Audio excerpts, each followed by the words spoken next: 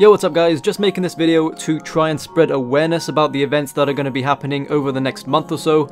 Since it is the month of Christmas, Jagex are giving us some weekends to look forward to, and also a couple of other things which I will mention at the end. So first of all, let's take a look at some of the special weekends that are coming up. Just click on the snowman and then click on winter weekends to see this page, and then all the different weekends will be displayed on here just in case you forget. Now before I start at the top it says all winter weekends run from 12 o'clock on Friday to 12 o'clock on Monday game time. So that means that you do not only have the Saturday and Sunday, but you also have a bit of the Friday and Monday as well. So just bear that in mind when I'm saying the dates because as you can see from the first one, it's from the 3rd to the 4th of December and that's for the Arc and the 3rd and 4th of December are only the Saturday and Sunday. But like I said, just remember you have a bit of the Friday and the Monday as well. But anyway, yeah, from the 3rd to the 4th of December you have the Arc, and during this weekend all supplies will be half price, You'll have a chance to not deplete Uncharted Island resources, you'll gain 2 extra Waiko contracts and those rerolls are free, and 2 Origami will spawn instead of 1 on Uncharted Isles. Now I don't know much about the Arc because I haven't done it much myself,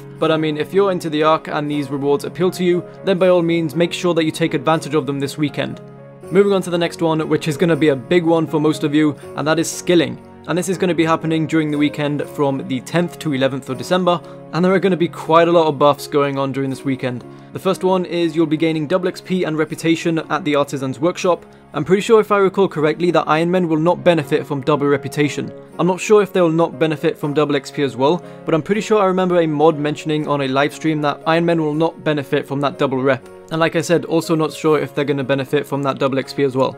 Next up we have increased node spawns and reward points at Runespan. I know what I'm going to be doing that weekend. Need to get that rune crafting up and I guess now is the perfect time to do it. Also you'll gain bonus chance on jeweled statuettes whilst wearing a Ring of Wealth, and you'll also gain a double chance of a Pharaoh Scepter and Black Ibis drop at Pyramid Plunder. For divination, enriched divination nodes will spawn every 10 minutes, and divination wisps last twice as long, and also fishing spots stay in the same place twice as long, so that will just make these two skills a little bit more AFK, and finally for these last two, mining nodes and trees replenish twice as quickly, and you'll gain 50% base Big Chinchomper XP.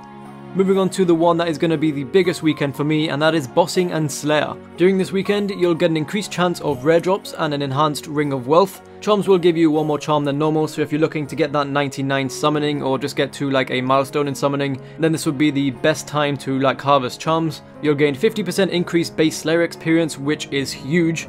All Slayer tasks will be treated as using a Slayer VIP ticket, and if you don't know what that is, you'll basically just be given a choice between two Slayer tasks, and you'll just have to like pick one and then that will be your Slayer task. You'll get 10% cheaper instance fees, you'll gain extra training points whenever you are training someone, and you'll gain the ability to loot Mazcab raids once per day instead of once every two days.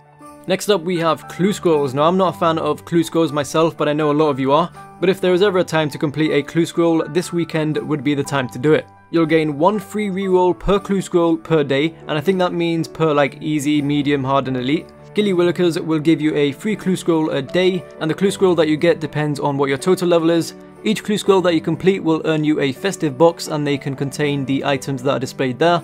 And during the whole weekend, you'll have an improved chance to get clue scrolls from drops and pickpocketing.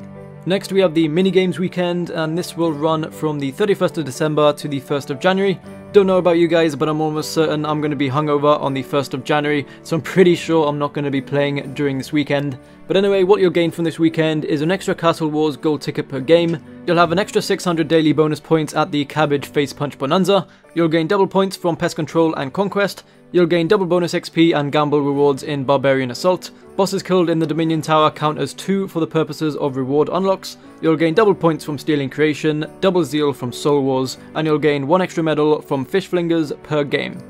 Next up is ports, and this one will run from the 31st of December all the way up to the 8th of January. So this one, unlike the others, is a week long instead of a weekend, and the buffs that you can get from this is you'll get 25 voyages a day instead of 15, and all those voyages return 30% extra trade goods and resources, and also you'll be able to get Cerula's special voyage on Saturdays and Sundays as well as on Thursdays.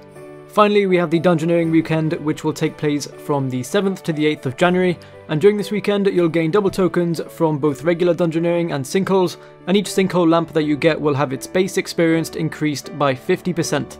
So that's it for the special weekends, just make sure that you participate in whatever you want to participate in, and most of all just make sure you make the most out of them. Now I did say at the beginning there's a couple more things that I wanted to highlight. Well if you click on the little advent calendar tab, there's an advent calendar there that you can open every day. This will work like any other advent calendar. Just open the boxes for whichever days have gone by, and don't worry if you miss a day, you can open them all up to January 9th. However, for Iron Man, I'm led to believe that this does not work for you. Here's me trying it on my first Iron Man. I'm not sure if this is just the first box that's not available to Iron Man or if it's like the whole advent calendar. I'd assume it's the whole advent calendar. I don't know why they'd only make like one or two boxes non-Iron Man friendly.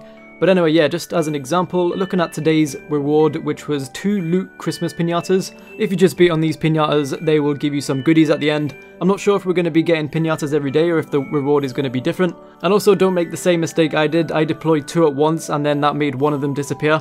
Just make sure you only deploy one at a time. I was an idiot for not reading the error message that came up. And then yeah, you should be all good with that. Also, the Christmas main event comes out on the 5th of December, and then I think another one comes out on the 19th of December, as led to believe by this screenshot here.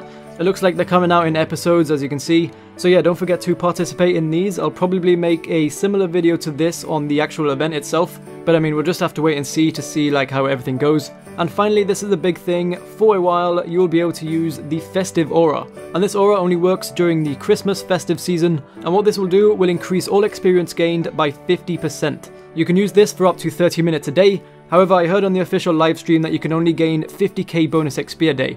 However, bonus XP is still bonus XP, so don't forget to use it every day, and by the end of the month you could have potentially gotten up to like 1.5 mil XP. So yeah, don't forget to use it. Also, if you don't see it in your bank or your inventory, head on over to Varrock and talk to Xuan or Juan, I don't know how you say his name.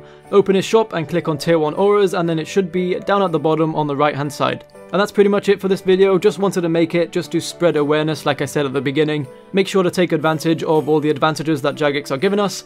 And yeah, that's pretty much it. Thank you guys for watching, subscribe if you're new, and peace!